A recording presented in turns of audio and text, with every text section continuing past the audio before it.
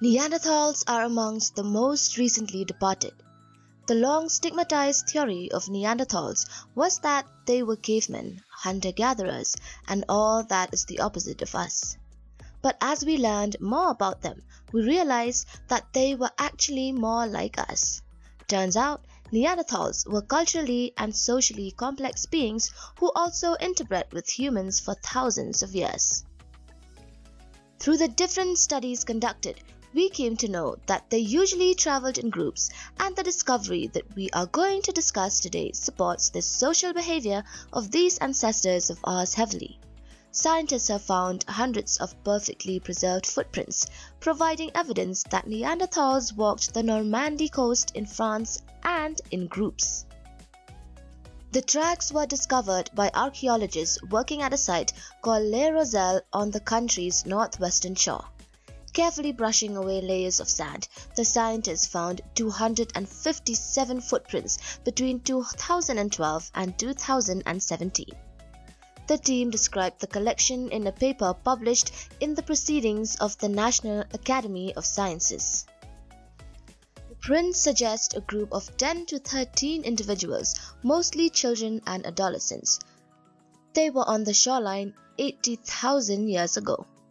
Jérémy Duveau, a co-author of a study, said the prints were left in muddy soil and quickly preserved by wind-driven sand. Each of the footprints was photographed and modeled in three dimensions. Casts were taken of a few of them using an elastomer, which is less rigid than plaster.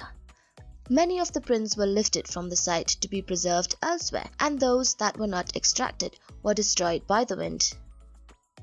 Analyzing the size and shape of the footprints confirmed that they were consistent with what scientists know of Neanderthals' broader foot structure, slightly wider with a lower arch than the footprints of typical Homo sapiens.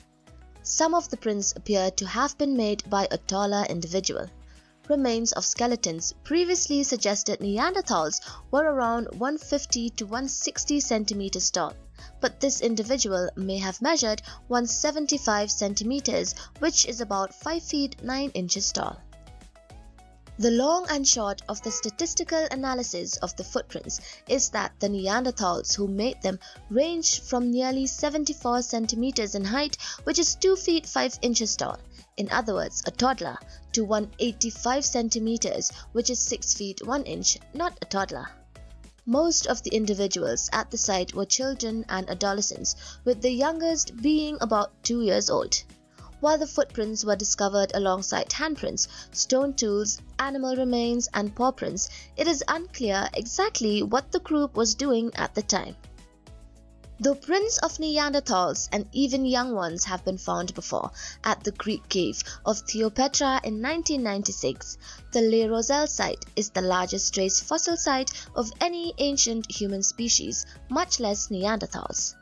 In a fell swoop, the discovery at Le Rozel now makes up 95% of all known Neanderthal footprints.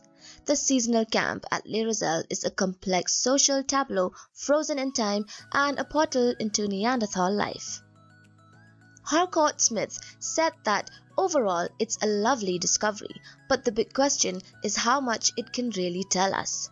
In the past, researchers have only been able to guess at the sizes of Neanderthal groups. Assumptions were based on observations of modern human hunter-gatherers, the size of the structures that Neanderthals built for shelter or the number of individuals buried at a particular site. But these methods were all indirect and often hotly contested amongst archaeologists. The Rozel footprints could help provide a more accurate picture of Neanderthals' group sizes and social lives. And that is all we have for you guys. Hope you enjoyed the video and do let us know what you think of it in the comment section down below. For more videos like these, check our channel out and please do not forget to support us by liking our videos and subscribing to the channel.